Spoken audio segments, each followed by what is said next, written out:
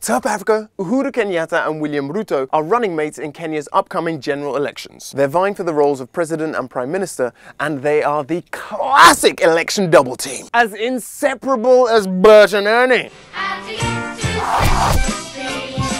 As brutally efficient as Serena and Venus. Yet as full of passion as Miss Piggy and Kermit. Kenyatta and Ruto love to share everything. It's so sweet. They're even both accused by the International Criminal Court of masterminding Kenya's post-election violence in 2007. But come on, what leader in waiting or indeed sitting prime minister doesn't have to face a few criminal charges?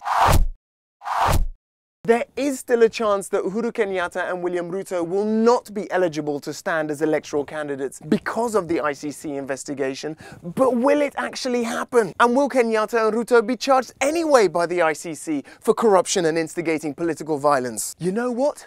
I don't think they give a damn because they have each other! I can show you the shining, shimmering, splendid. Tell me, princess, now when did you last? Malawi's President Joyce Banda.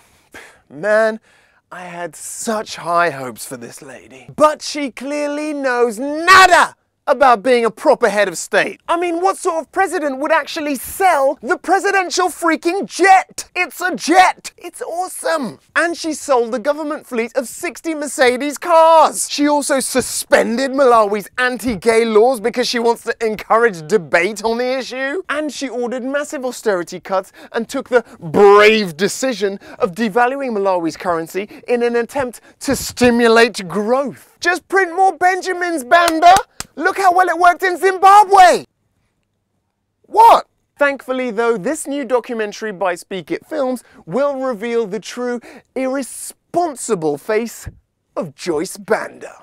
My feeling is that we've wasted 50 years. There's been very little progress in changing the status of people at grassroots. It's heavy, but I'm able to carry it. Why? Because I'm an African woman. Then there's her ridiculous logic of choosing to work with China instead of the West. China will decide today we shall develop this. The next day you sign and work starts. We know that if it had been in the Western world, we would have been talking for two years. And the icing on the freaking cake is that she's already ruled out a unilateral extension to her presidency. She crazy! If at the end of two years we have run and run, and then the people of Malawi say, no, we're not satisfied, we can't re-elect you, that's fine. I had the fortune of living in New York for about a year, and although I loved it, I know it would be even more awesome to be there right now. Because the city seems to be embracing African musical talent like never before. One African living legend who's just performed there is Zimbabwe's Oliver Mtukudzi. If you've never heard his music before, get your butt to iTunes and check it out. Here's some footage of a concert he recently played in Webster Hall, New York.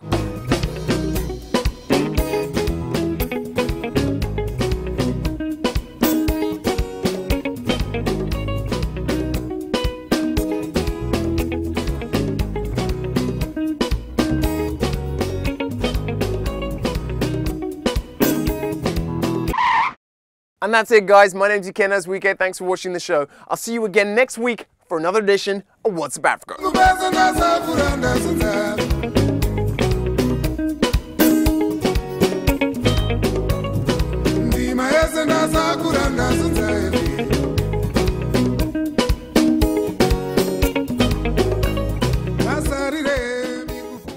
My message was time has come for women of this country to do what? To become economically empowered.